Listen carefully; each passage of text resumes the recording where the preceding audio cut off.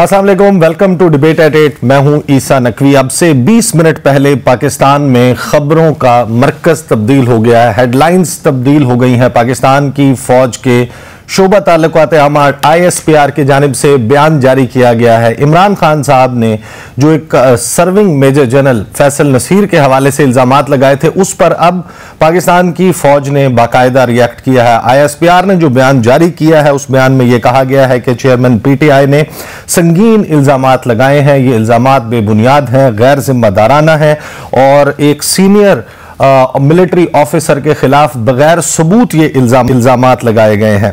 इसके हवाले से ये कहा गया है कि ये नाकाबले कबूल हैं। आ, इनको रिजेक्ट किया गया है मुस्तरद किया गया है। साथ ही ये कहा है कि अब ये एक वतीरा बन चुका है कांस्टेंट पैटर्न जो है वो नज़र आता है कि सीनियर मिलिट्री ऑफिसर्स और इंटेलिजेंस एजेंसीज के ऑफिशियल्स के खिलाफ इल्ज़ाम लगाए जाते हैं। उनको सनसनी खेज प्रोपेगेंडे के ज़रिए उनको मलाइन किया जाता है।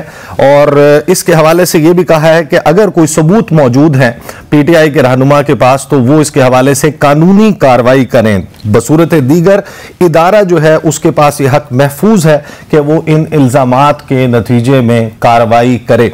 फरूख हबीब साहब, पाकिस्तान तहरीक इंसाफ से हमारे साथ मौजूद हैं। सामकुम फरूख साहब, आपको मेरी आवाज़ आ रही फरूख हबीब साहब, आपको मेरी आवाज़ आ रही है? जी जी, मुझे आ रही है। आप सर, ये बताइएगा कि पाकिस्तान की मिलिट्री स्टैब्लिशमेंट और इमरान खान साहब के दरमियान अब इस, इन बयानात से इमरान खान साहब ने भी एक स्टेटमेंट दिया शबिया शबाज शरीफ साहब की ट्वीट का स्क्रीनशॉट लेकर उसको कोट ट्वीट करते हुए उन्होंने थ्रेड जो है वो पोस्ट किया ट्विटर पे। उसके चार के बाद ये बयान आया है आईएसपीआर की तरफ़ से, यानी कि अब ये लग रहा है कि मामला जो है वो पाकिस्तान तहरीक इंसाफ और मिलिट्री स्टैब्लिशमेंट के दरमियान पॉइंट ऑफ़ नो रिटर्न पर पहुँच चुके हैं। नहीं देखिए, मामला हमारा कोई फौज बराए इदारा के साथ हमारा कोई मामला नहीं है। इमरान खान साहब ने एक ऑफिसर को जो है वजीराबाद कातलाना हमला के बाद नॉमिनेट किया है उन्हें। जो अच्छी बात है, उन्होंने कानूनी चारा गोई की अगर बात की है I S P R P R की प्रेस रिलीज़ में तो इमरान खान का क्या ये राइट नहीं है कि वो जो उनके ऊपर कातलाना हमला हुआ, और इमरान खान इस कौम के हीरो भी हैं। इस मुल्क के अंदर फिलानथ्रोफिस्ट्री में भी उन्होंने एक अपना नाम कायम किया है। उसके बाद इस मुल्क के सबका वज़ीर आज़म है और पाकिस्तान की एक मकबूल तरीन पार्टी के जो है, वो चेयरमैन भी हैं। और अगर वो अपनी एफ़ आई आर में किसी ऑफिसर को नॉमिनेट कर रहे हैं तो वो एफ़ आई आर तो दर्ज नहीं हुई, आज तक नहीं दर्ज हुई। और वो इसी वजह से दर्ज नहीं हुई थी कि उस वक्त एक आर्मी के ऑफिसर का जो है, उसमें एक नाम था। और उस नाम होने की वजह से एफआईआर दर्ज नहीं की गई। और तो, उसी वक्त उसी वक्त जो उसके बाद जो मामलात हुए वो अपने हैं जिस तरीके से डीपीओ और आरपीओ अपने मोबाइल फ़ोन से उस शख्स की जिसको गिरफ़्तार करके तहकीकात करना उनकी ज़िम्मेदारी नहीं थी उन्होंने वीडियो बयान बनवा के जारी कर दिया और बाद में मुकर गए कि हमें तो पता ही नहीं ये वीडियो कैसे जारी हुई। सही। फिर वो शख्स सीटीडी में चला जाता है। फिर कवर अप होता है। फिर आपकी जेआईटी की सारी कार्रवाइयाँ जो हैं उसको सबोटाइज किया जाता है। फरूख हबीब साहब फरूख हबीब साहब मुझे ये बताइएगा कि अब से आपको मेरी आवाज़ आ रही है? जी। हाँ मैं ये कह रहा हूँ कि आज से तकरीबन दो साल ढाई साल पहले जब पाकिस्तान डेमोक्रेटिक मूवमेंट बनाई गई वहाँ से हाजिर service chief of army staff D G I S I के खिलाफ इल्ज़ाम लगाए गए। उस वक्त आपका मौकफ ये था कि इससे इदारा कमज़ोर होता है फौज कमज़ोर होती है। आज जब आपकी तरफ़ से इल्ज़ाम लगाए जा रहे हैं तो आप ये किस तरीके से जस्टिफाई करते हैं कि इससे इदारा जो है और फौज कमज़ोर नहीं होगी? देखिए दो चीज़ें इमरान खान के ऊपर कातलाना हमला हुआ। एक क्रिमिनल अमल हुआ उनके खिलाफ, उनकी जान लेने की कोशिश की। और उन्हें, उनको ये, उनको जब ये लगा कि ये ऑफिसर उसमें मुलविस हो सकता है तो उन्होंने उनको एफआईआर में नॉमिनेट कर दिया। अब अगर एफआईआर दर्ज हो जाती और एफआईआर दर्ज होने के बाद उसकी तहकीकात हो जाती तो दूध का दूध, पानी का पानी हो जाता। जब वो एफआईआर ही नहीं दर्ज हुई उस शख्स के खिलाफ और रियासत की मदयत में जो है वो पुलिस की मदयत में एफ़ आई आर दर्ज हो जाती है। तो उसके बाद इमरान खान साहब तो हकबा बजाने है कि वो जिस शख्स के ऊपर उन्हें शक है जिस ऑफिसर के ऊपर उन्हें शक है वो उसका नाम नॉमिनेट कर सकते हैं। अच्छी बात है आज अगर इन्होंने ये बात कही है तो कानूनी रास्ता अख्तियार करें तो इमरान खान ने तो कानूनी रास्ता ही इख्तियार किया था ना। लेकिन उस कानूनी रास्ते में जो रुकावट बने हैं वो तो आपके इलम में और हमें तो यही कहा जाता रहा कि आप अगर इस ऑफिसर का नाम निकाल दें तो शहबाज शरीफ और राना सनाउल्ला के खिलाफ एफ़ आई आर दर्ज हो जाएगी।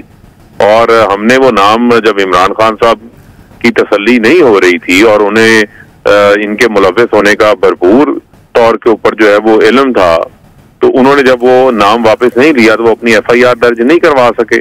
जबकि उस वक्त पंजाब में हमारी कोलिशन गवर्नमेंट भी थी, लेकिन उसके बावजूद वो इतने ताकतवर थे कि वो नाम नहीं दर्ज हो सका। अब अगर उसकी तहकीकात अब भी हो जाए तो मैं समझता हूँ कि दायरे के अंदर भी एक अपना प्रोसेस है। वो भी तहकीकात जो है वो कर सकते हैं और वो साफ़ और शफाफ तहकीकात हो जाए उसमें मालूम पड़ जाएगा। देखें देखें मुझे ये बताएँ ये मामला ये मामला बातचीत के ज़रिए ये मामला बैठकर जो है वो सेटल हो सकता है तो वो ऑप्शन अब खत्म हो गया है। बातचीत नहीं हो सकती। सर सुन लेना। आप देखें कि कराची में मरियम सफदर कहती, मेरे होटल के दरवाजे टूटे। बिलावल जनरल रिटायर्ड बाजवा साहब को फ़ोन करते हैं, या बाजवा बिलावल को फ़ोन करते हैं। उस वक्त सेक्टर कमांडर तब्दील कर दिए जाते हैं। मरियम कहती है, जी, मुझे डीजीसी ने मारने की, स्मैश करने की धमकी दी। वो भी उस वक्त एक हाजिर, अभी भी बल्कि हाजिर सर्विस ऑफिसर हैं। उनका, उनको हटा दिया गया डीजीसी के अहदे से। यहाँ पर इमरान खान बार बार एक बात कह रहे हैं, उनकी कोई किसी से जाती दुश्मनी तो नहीं है। अगर वो कह रहे हैं तो उनके पास कुछ मालूम तो होंगी। वो मालूम कभी मालूम करने की किसी ने कोशिश की है? नहीं की गई। तो लिहाजा मैं ये समझता हूँ कि बजाय हम प्रेस रिलीजेस की तरफ़ जाएँ, तहकीकात करवा लें इन्वेस्टिगेशन करवा लें, उसमें दूध का दूध पानी का पानी हो जाएगा।